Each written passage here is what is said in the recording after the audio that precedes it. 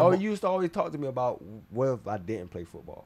always. It, it's a conversation that Yeah. needs to be had, Right, Because you yeah. know it's going to end. Yeah, yeah, it is. You uh, you've been fortunate. You're Yeah. you're part of the true one of like Right. you have a second contract. You'll probably get a third because you're Yeah. stud. You know, God willing, and you're healthy. Right. But guys don't sit down with themselves and think about it enough. I don't think you you literally here's to put it into perspe- perspective.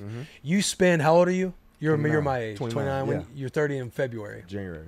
January, my Yeah. fault. I'm 30 years old. I didn't Yeah. come into the league until 23. Mm-hmm. You have a career that on average lasts three and a half years. and a half, four years. Four years. We'll say four seasons. Time I was an undrafted cat. So to me, I was thinking this could be done in a year. Yeah. But the average career is four seasons. Right. And you spend. I started playing football in second grade. Yeah. We'll say eight years old. About eight. I started. Play, I played football from eight to twenty three. Ball. Fifteen years. Right.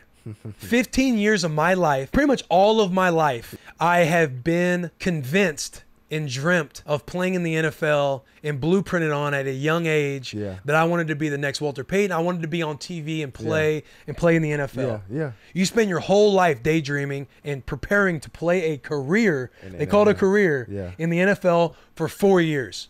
Done at 27. Yeah. You spent your whole fucking life Playing pre- p- playing football. Yeah. Only knowing football. Only knowing football. And then at 27, uh, I'm I'm 30 now. Yeah. But you say the average is all yada yada. Say you're 27, Yeah. and then you're on the real world. Everything gets pulled out from underneath you, and you're not a NFL player anymore. Mm-hmm. Yeah. Your jokes aren't as funny. No. You're not as good looking. Not as good. You're not as cool. Yeah. You're not of status anymore. Yeah. People don't. It's and not that it uh, it matters to be cared about like that. Yeah. There's a part of you. Yes, you're self-absorbed, Yeah. absorbed a little bit, and, a, Yeah. and a, you have a little bit of uh, confidence and swagger about you since you Right. play in the league. Yeah. But your shit doesn't stink anymore when you're out of the league. Right. And you spend you spend your entire fucking life to Yeah. play to try to play a career, a dream for three, four years. Yeah, I was funny because I was talking about the same exact thing with one of my teammates. It's talking about taking advantage of being in the league, Right. using your resources. You know, like reaching out, network with other people, with big businesses and stuff like that. Because once you're not in the league anymore, they're not going to care about you. You They're not even. they're not even, probably not even gonna know who you are. Honestly. Yeah, You know what I and on, and uh, to to use the bus this bus example, Yeah. obviously I have Taylor. He's a Pro Bowler. People give shit all the time, but at the Yeah. same time, from my stance, Yeah. if this isn't started, if this is started a year or two later, Yeah. it doesn't matter near as much. If I'm, I say a year or two, like I, I probably, I'm not gonna play much longer. It's just the reality Mm. Yeah. of my circumstance. Not that I want to play until the wheels fall off. I want to walk away from the game on my On own terms. terms, yeah. Right. Yeah. And so if I just were to start this a year or two out of the league, Yeah. it doesn't hit the same. It whether or not that's just the reality. True.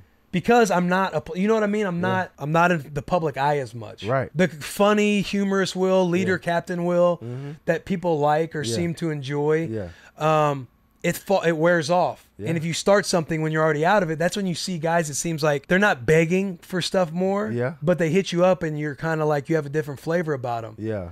You know what I mean? Or some of the heroes you've met that used to play ball, and you're like, why are you still hanging around Nebraska? Or why are you still hanging around the facilities? right, right. right, Like you used to do it, let the new guys do it. It just doesn't matter as much anymore. So I, Yeah. I do. I think it's extremely important that guys Yeah. take time to think about Yeah. That's that's what they do man. off the field and That's do it while you're playing. It's a great point too. Even though I'm in the league, but I go to go back to Nebraska. Nobody know who do I who I am.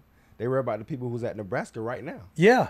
Yeah. And they'll know who you are now because you are a all pro. Yeah. Mm-hmm. You're, you're a stud football player, Lavonte David, who they can hang their cap on Yeah. because you play good when you were Right, there. You're yeah. still playing in the league, so you're still relevant. Right, If you were to come 10 years later and you never went back to Nebraska, people would know who you were and say, yo, hey, remember Levante? Mm-hmm. Yeah. But you don't have the same, Same juice. same access. You don't got the same juice. Yeah, you don't. So it's important for guys that do that that do think about shit while they're man. playing. Do it while you're it playing. while you're playing, Do man. it while you got a little bit of juice right now.